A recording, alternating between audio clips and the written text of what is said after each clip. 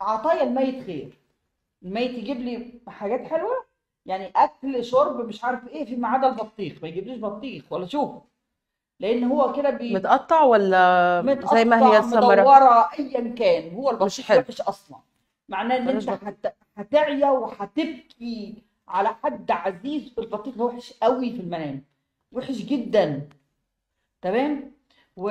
و- وفي ناس كتير من الس- السود ده اللب. الأسود ده ده معناه تجمع في حزن حزن في, في, ميتم.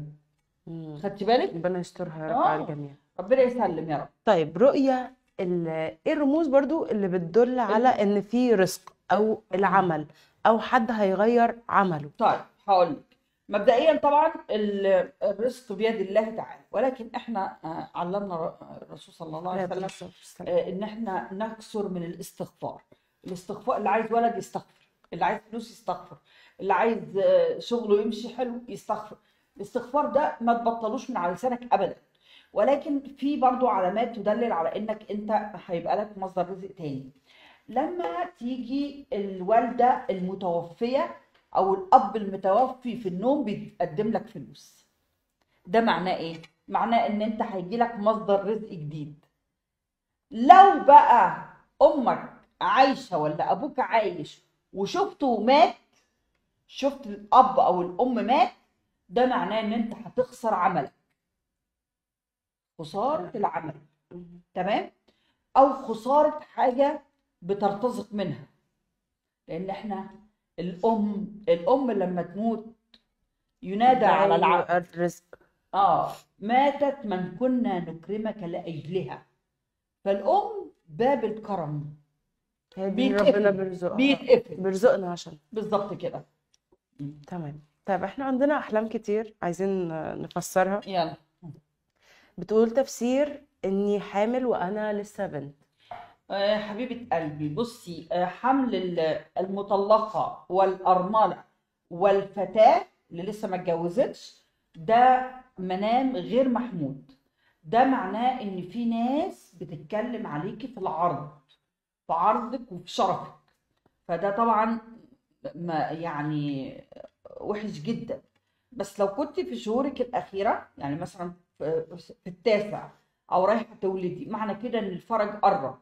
يعني الناس اللي اتكلمت عليكي دي خلاص هيت- هيتكتموا. لأن الولادة فرج.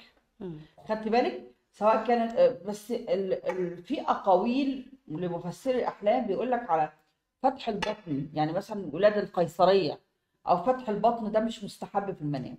ده مش حلو. آه، طب لو واحدة حامل وهتولد لا قيصري دي أو عادي دي- ده, ده أحلام لا يؤخذ بها ما أصلا ما تاخدش بيها. يهم ما يهم المرء مين دلوقتي بيقول الطبيعي؟ ما كلهم قيصر لا في دلوقتي. ما شفتش والله. طيب نكمل أحلامنا. آه. بحلم إن أنا رحت أعمل عمرة. اللهم صل على النبي. أهي بقى البيت دي لو بنت يبقى ده جواز ليها. العمرة جاية من العمار. والعمار بناء. والبناء معناه زواج. يقول لك بنى بها يعني تزوجها. فده بإذن الله تعالى ليكي. وبعدين خلي بالك العمرة لازم بمحرم. مم.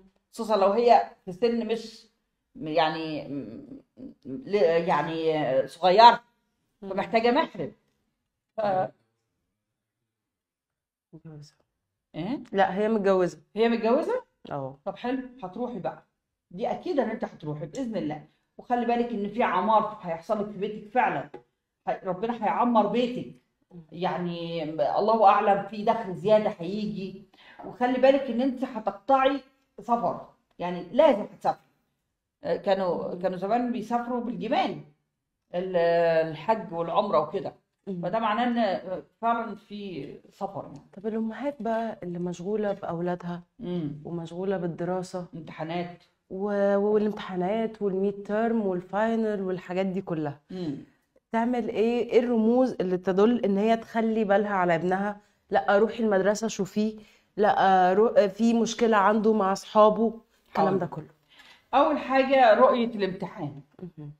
الامتحان حتى بصي في رؤى لا تليق للابن وتليق للأم. آه، الأب قصدي. ولا طليق للابنة وطليق للأم. للأم. والعكس صحيح. شافت نفسها بتمتحن ومش عارفة تحل حاجة في مادة معينة. مثلا الماس مثلا. مش عارفة تحل فيه. و...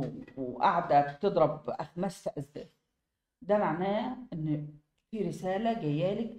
ده بص بيبقى صفوة الناس على فكرة. مش كل الناس بتشوف الحاجات دي. اللي, اللي هم عندهم اقتناع ان إن إحنا في وسيلة تواصل بيننا وبين ربنا اللي هي إيه؟ الرسالات المنامية. راحة دي وسيلة تواصل بيننا وبين ربنا.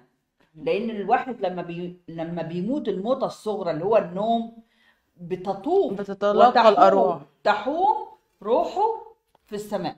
تمام؟ وتلتقي بأرواح الأموات والأحياء وتقابلي فلانة وتعرفي علانة وشفت واحدة ما اعرفهاش وبعد كام سنة يعني الحلم اللي أنا أشوف فيه شخص مثلا بقالي فترة ما شفتوش ممكن تكون روحي قريبة منه أو التقت في حاجة اسمها التليباثي مهم. ده اسمها التخاطر عن بعد